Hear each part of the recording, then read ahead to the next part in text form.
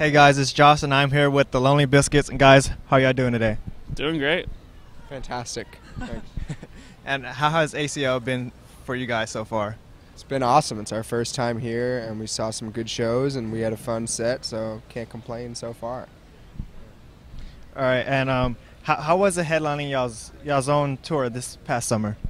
It was awesome. It was our first time playing in a lot of these new cities, so it was cool that fans actually showed up and some of them knew the words, so that was cool.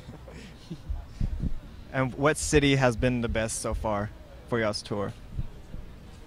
our hometowns are always really solid. We're from all over the country. John's from Kansas City, New Jersey, Omaha, North Carolina, so there's always a lot of support there, and it's always good going back. New York and Chicago were super fun too. Um, There really wasn't a bad There wasn't a show on the tour, so it's good.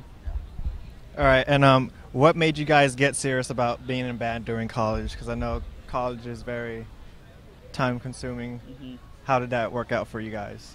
Uh, me and Grady were just random roommates freshman year, and so we kind of just started jamming first couple days of class, and then John and Nick lived on the same floor as us, so it kind of just happened naturally. We were all friends, and then started taking it a little more seriously over time. So yeah, um, it was just something to do to stay productive on the side of school, and then it started getting more serious, and we're just going with it, seeing how far we can take it. So.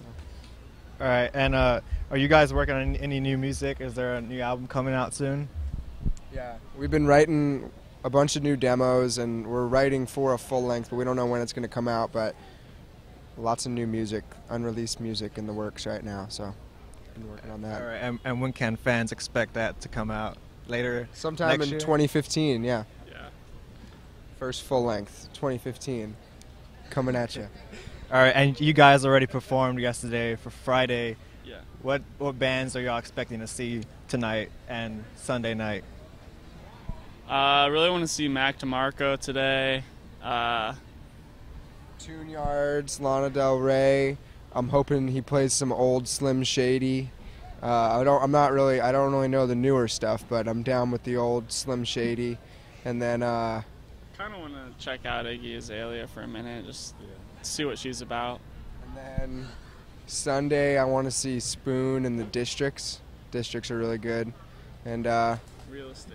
real estate. Yeah, just trying to get get loose a little bit and dance, you know.